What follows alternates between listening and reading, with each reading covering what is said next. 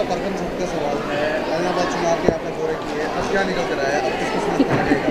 अब ये सवाल देखिए ये तो आ, समय बताएगा कि किसका क्या होगा। मैं तो आ, दो दिन का दौरा करके आया और अभी आज भी लोगों से मिला। कई दिनों से मैं पिछले हफ़्ते दस दिन से लगातार लोगों से मिलने पे हूँ। तीन दिन अगले फिर मेरा दौरा है। आज करवा चौथ की वजह से हमने ज़्यादा वहाँ कार्यक्रम नहीं रखे हैं।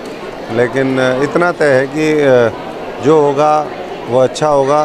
किसान मजदूर गरीब के हित में ऐलनाबाद की जनता फैसला लेगी ऐसा मेरा अनुमान है। आज जनता ने कुछ डिसीज़न लिया हो कि आपका समर्थन किसे होना चाहिए क्योंकि आप नक्स पे की बात कर रहे थे कि जनता है? तो नब्ज अभी टटोलने में थोड़ा सा और समय लगेगा। आ, कहते हैं ना समय तो लगता है।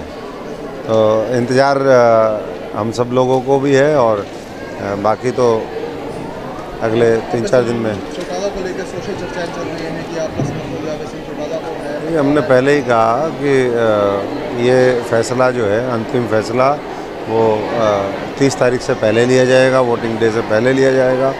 और अभी और काफ़ी अभी ऐलनाबाद का जो ब्लॉक है उस तरफ़ हमारा दौरा नहीं हुआ। अभी मैंने चौकटा के जो पैंतालीस है जिसको बोलते हैं उसका दौरा किया है। और लोगों का एक ही कहना है जी जो किसान को बचा सके किसान की रक्षा कर सके किसान के लिए लड़ाई लड़ सके वैसे साथी को आप अ, अपना समर्थन देना।